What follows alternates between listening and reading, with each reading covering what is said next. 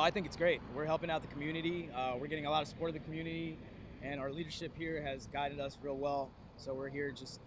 I know I feel personally. I feel like we're doing a great job. I mean, we're, we're getting the hearts and minds of the community, and we're doing a great job with that. Um, uh, a lot of us here grew up in Baltimore, so they want to make their home safe. So morale is up, and it's ongoing, and it's going to keep on going until this is resolved, hopefully peacefully. But if they need us here, that's why we're here. So the community has been giving us all their support. It's amazing, and we thank them for it. We're real grateful for it, and like I said before,